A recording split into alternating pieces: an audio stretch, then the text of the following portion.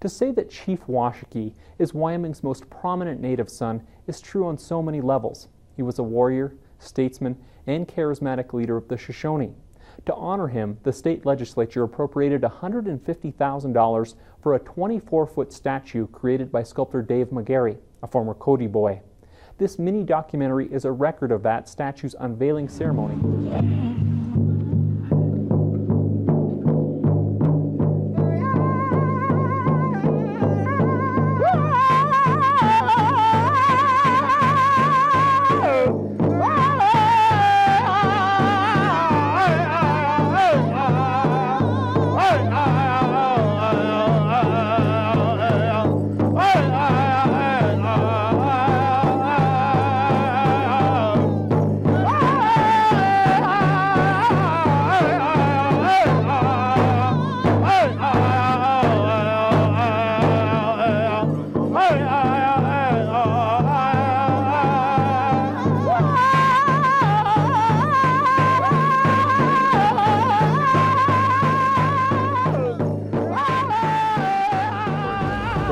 Is um, very special and dear to my heart because of my relationship with the Washakie family. So it's been a, a great project ever since I did the, uh, uh, the piece for Washington, D.C.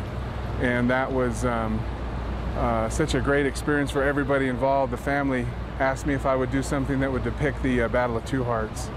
And so this is what we came up with after I spent a lot of time with the Washakie family and James and his mom, Zadora, and and uh, they told me all about the battle and, and, kind of the insight and the family insight on the battle and how it took place and then guided me along to make sure that uh, it was done properly. Once the spirit of the piece is, is achieved and that was done through the Washakie family, then it becomes a technical part of the sculpting process.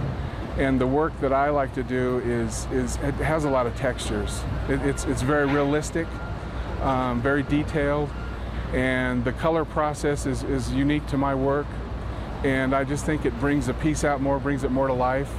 And this whole project here has been about a two-year project, so, and it's cast in, in numerous pieces and um, welded together over a stainless steel structure for support and strength. And um, it's just, it's a tremendous amount of work that goes into a piece of this scale, first of all, and then with the amount of detail that it has, it's been uh, uh, a challenge, but, it, but it's been a fun challenge. I got my formal training in Italy.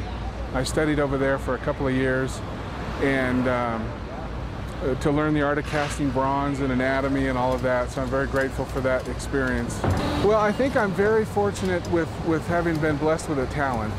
And, I, and I'm also very, very um, fortunate to having been around a lot of people like Harry Jackson and Vic Larson and and cultures, Native American cultures that, that inspire you and, and other artists that, that I admire their work, exposed to different artists in museums around the world that I've gone to. I, I think that's really important. Inspiration is, is an, obviously a very important part of an, of an artist, but you, you also have that flame of, of creativity inside of you that uh, kind of drives you, and you need to find the fuel for that.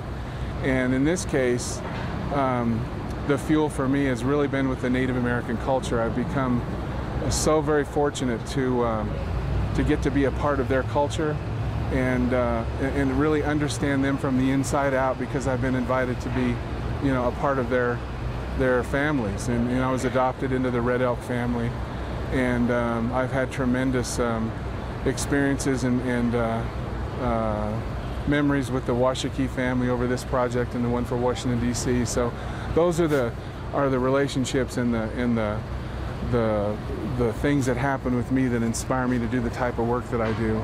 And I think I've just perfected and, and artists are always trying to perfect their trade and their skills and, then sharpen their skills. But this is my 27th year I've been doing this now.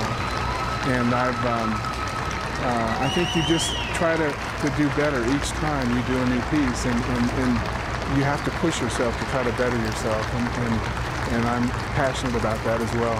And now I hope that when they see this, they may want to read a little bit more about him, or they may want to do a, a Google search about him and, and, understand him a little bit more, because he was a tremendous um, uh, part of, of, Wyoming history, and I think it's uh, it's it's perfect to have him here at the university as, a, as an educational tool.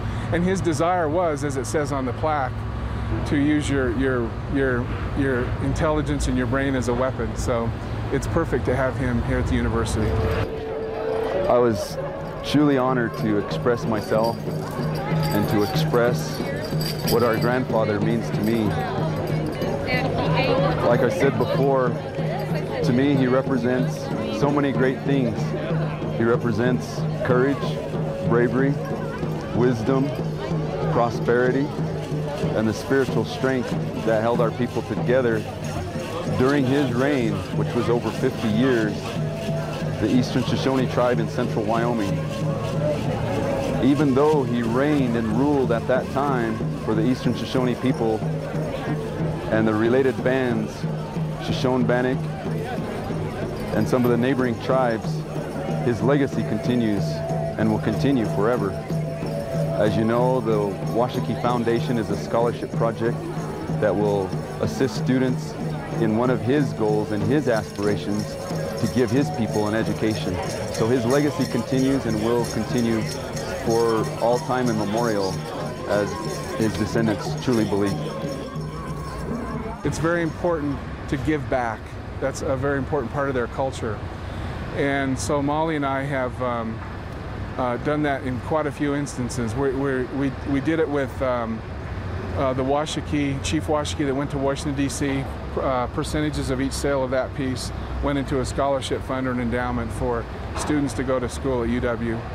Uh, and that worked out so well that we decided we wanted to do the same thing with the Battle of Two Hearts uh, proceeds as well. We walked all around the campus to uh, look at different locations where we thought would be the perfect spot. And the minute I saw this location, I mean, it's obviously the Washakie Center, but this location here is, is ideal because it's on, a, um, obviously on Grand Avenue. A lot of people see it. It's in front of the Washakie Center, and I love the fact that the glass in the back is going to be like a mirror, and it's going to reflect the backside of the piece. So, so because sculpture is three-dimensional, you need to be able to see it from all directions. So it'll have a great view from inside the cafeteria. It'll have a great view from outside, and it'll be reflected in the um, in the center, the, the backside of it. So I think it's going to be just perfect for it. Everybody's pleased, and the the Washakie family's pleased. Everybody here at the university is pleased with the choice. So I think it'll work out very well.